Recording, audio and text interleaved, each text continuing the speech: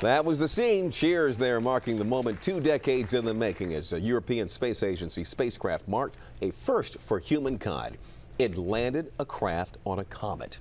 The lander, uh, called Philae, did have one unexpected error when scientists say that its harpoons failed to launch, possibly causing it to bounce on impact.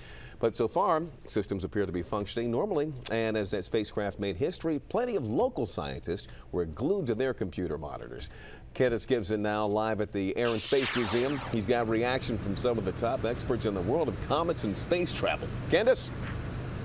Well, Leon, think about this for a second. What an amazing day this was for mankind. You have a spacecraft traveling 18,000 miles an hour, located between Mars and Jupiter at this hour, landing on top of a comet.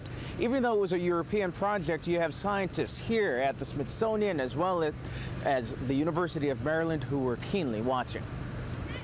20 years of planning, a decade of inner space travel led to this incredible news. We definitely confirmed that the lander is on the surface. That confirmation sparked celebrations at the European Space Agency in Germany, as well as all around the world, including College Park, Maryland. Um, everyone was clapping, everyone was hugging, and it was like really exciting. The University of Maryland held a viewing party for today's landing. Students and professors nervously waiting and watching the European feed for hours. It's still happening. It's just sort of slowly happening and uh, disconcertingly happening. The last time a spacecraft came in contact with a comet, it was a project spearheaded by scientists at the University of Maryland. Astronomy professor Jessica Sunshine worked on the Deep Impact project that slammed into a comet in 2005. If you'll notice, they very carefully say that Philae is the first soft landing on a comet, and that's because we were the first hard landing. But tonight, after a successful landing, there are signs Philae is in trouble. Whatever its faith, however, geologists at the Smithsonian, among those saying a lot has already been learned.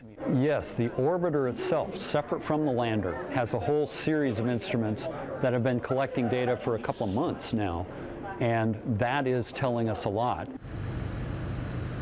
And we did expect some first pictures from the surface of that comet around 12 o'clock today. We're still waiting for those. So perhaps because it bounced a couple of times, once it landed on a comet, there might have been a problem with that. And that's why we haven't gotten those photos. But as you can imagine, a lot of people here the Smithsonian and around the world are hoping for those pictures to come through.